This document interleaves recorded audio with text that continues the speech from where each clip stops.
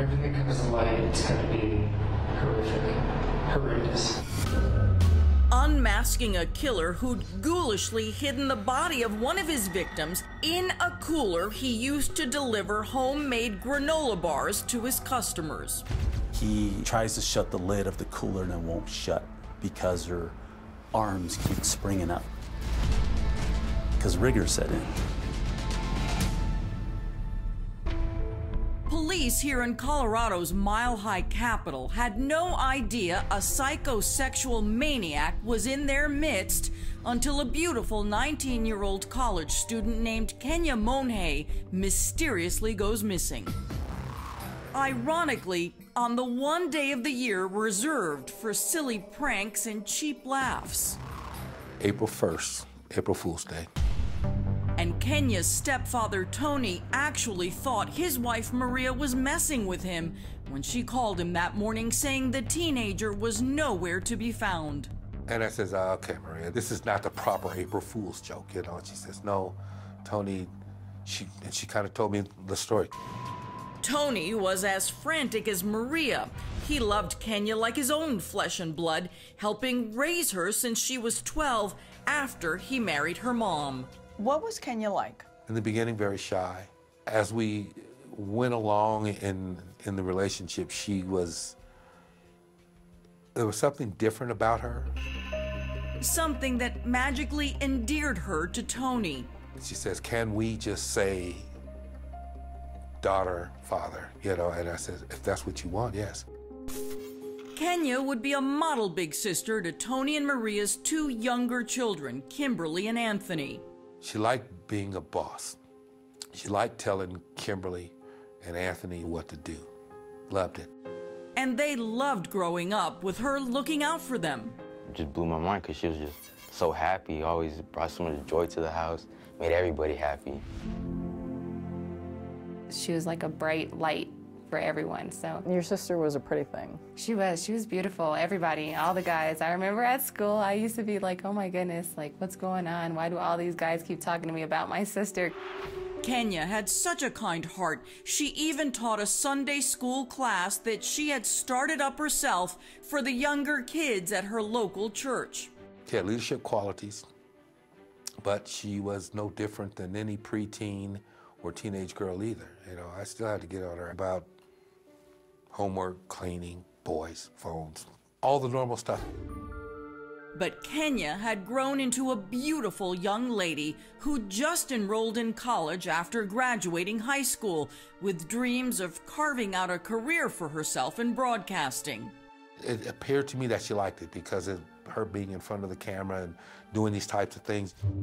Finding herself a job as a customer service rep to pay for her education and rent. She had moved out she was living with her boyfriend um, and getting on with her life. That is, until Kenia suddenly goes missing while on a night out with some friends. Did you even know Kenia was out that night? No, I did not know. And Tony would be shocked to learn from Kenia's friends that they were all out drinking and partying at a nightclub, even though they were underage. I had no idea about this party life that she had. Secretly going bar hopping for years. She and all of her friends um, had all obtained false IDs. They were going to the 21 and over clubs in downtown Denver. Now, if that had been all Kenia had done that night, Tony says he would have understood. I did the same thing. You know, I think every teenager does it. And it doesn't matter how many times right. we as parents warn them, mm -hmm.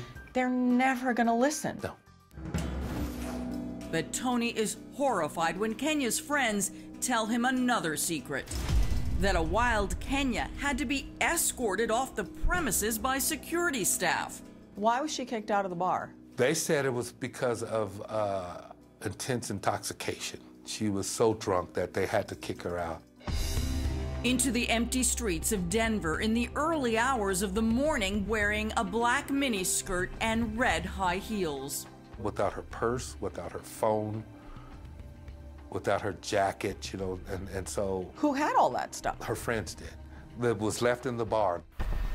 It's so out of character for Kenia that Tony immediately suspects someone at the club may have spiked her drink. She was just so out of control. Her friend said they were drinking together and no one had more than anyone else did. And they didn't feel out of control or anything like that. And her actions did not match the amount of alcohol she Correct. had. Correct. So maybe someone did slip a drug in her drink. that is what we believe. And there's one other disturbing detail that sends chills down Tony's spine. She was kicked out with a guy that she was doing some inappropriate things with on the dance floor. And it was not her boyfriend. and it was not her boyfriend. An alarmed Tony takes the information he's uncovered to police. And rather than wait for them to begin investigating, an impatient Tony turns detective himself, scouring Kenia's cell phone in search of any clue to the identity of that mystery man who'd been thrown out of the club with her. I see all these names and all of these messages, and I'm going through there, you know, One of the messages screams out to him and it said, hey, this is Travis, guy from last night, white creepy van. Did you get home okay? Next, police track down the mystery man and uncover this surveillance footage of him with Kenia in the lobby of his apartment building.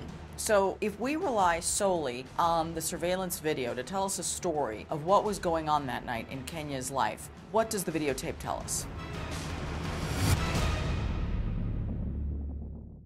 That night, that text message on her phone, that said, hey, this is Travis, guy from last night, white creepy van. Did you get home okay?